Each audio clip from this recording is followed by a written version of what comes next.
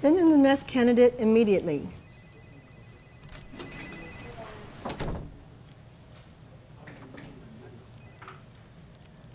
Sit down, please.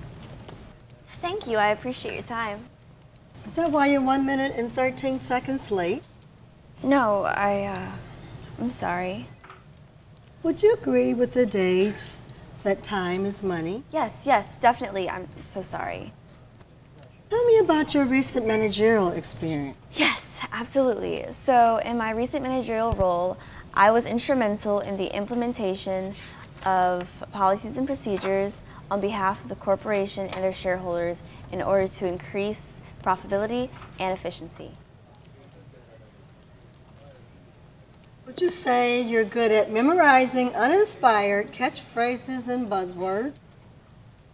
I suppose so. You familiar with the term doublespeak? Um, yes? It means to use language in a way that distorts its meaning. It means to talk and say nothing. Yes, I understand.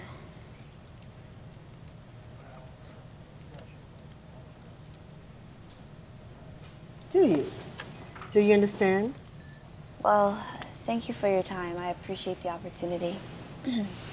I'm sure you'll find the right candidate for the job. I'm sure I will too. Congratulations, you've got the job. I do? Good luck in the new job position.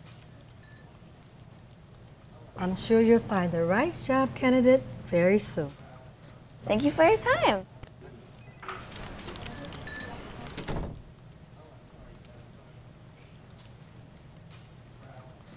Yes, send in the next candidate immediately.